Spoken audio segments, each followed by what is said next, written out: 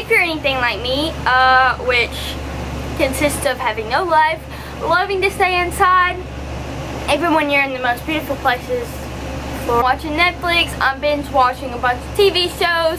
Here are some of my top picks that I watch. This can help, I'm not trying to influence you or influence anybody to stay up or try to finish watching these between a certain amount of time. This is the shows that I binge watched, have or am binge watching right now uh, that I like and that I recommend. So let's go ahead and get started. This is going to have two parts. This is going to have two parts and each one of them is going to have around 12. Um, so let's go ahead and get started.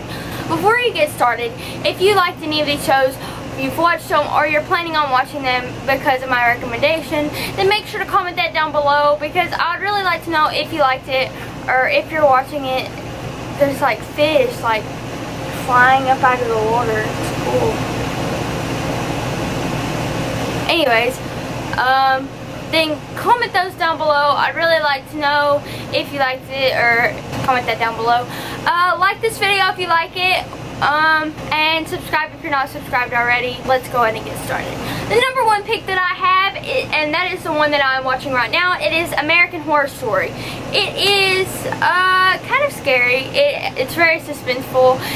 Uh, it's a little different from the other stuff that I've watched. Um, each season is a different theme. So like the first season was about a murder house. The second season was about an asylum. Third season was about a covenant. And the fourth one that I'm watching right now is The Freak Show. They're not, it's not like Grey's Anatomy or The Fosters or Switched at Birth where all of them are all lined up together. What this happens is going to affect this and this and this.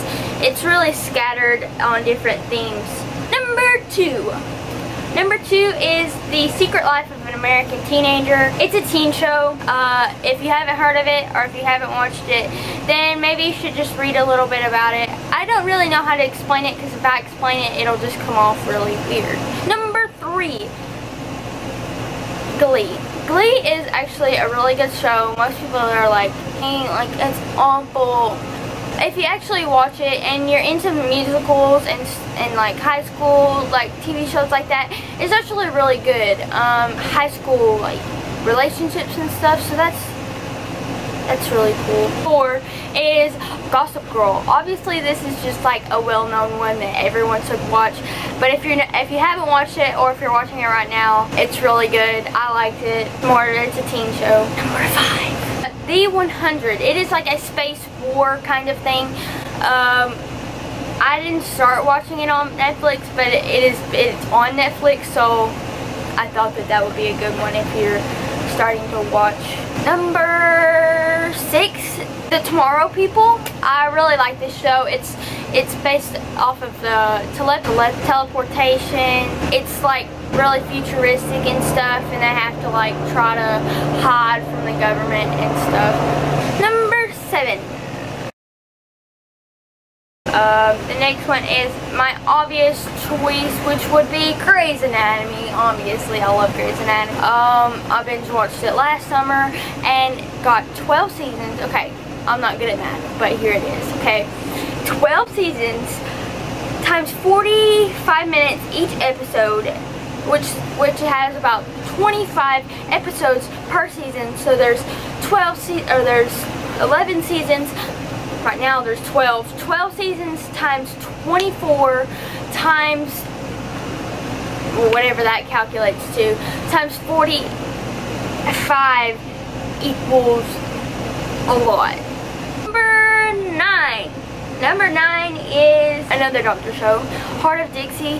It doesn't really have a lot of doctoring. It's just like when I was searching around after I watched Grey's Anatomy, I found Emily Owens, M Emily Owens, MD, and Hart of Dixie. Hart of Dixie only had a few surgery scenes, and they weren't actually that good. It was more focused on relationships and stuff like that.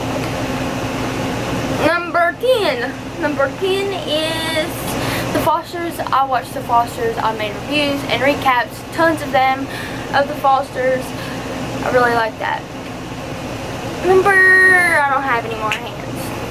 11. Number 11 is Dance Academy. I don't remember, I don't think I finished watching it. I think I just found the scenes that I wanted to do on, that I wanted to see online and then I did it. Uh, number 12 is kind of like Sex in the City but it's kind of a teen version. It is Carrie Diaries. It has two seasons.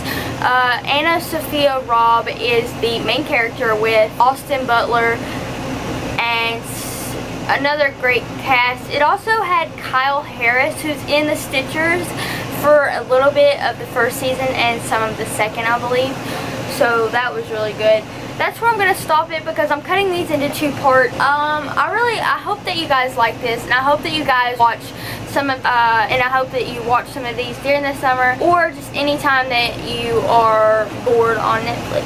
So here, there's some few suggestions of mine that you can take in. Uh, thanks so much for watching. Thanks for your consideration. If you like this video, make sure to give it a, give it a thumbs up, comment any video requests, and subscribe to my channel if you're not subscribed already. It's free, and it just notifies you whenever my next video comes out.